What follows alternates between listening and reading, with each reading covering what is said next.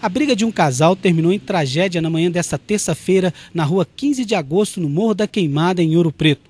O jovem Jonathan Augusto, de 20 anos, morreu com uma facada no peito, dada supostamente pela sua companheira Camélia Marcelino, de 21 anos. A polícia levantou que o jovem casal tinha um histórico de brigas constantes, motivadas quase sempre pelo ciúme de Jonathan.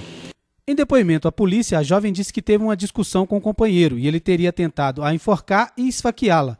Em descuido de Jonathan, Camélia tomou a faca de uma das mãos dele e deu um golpe na altura do coração.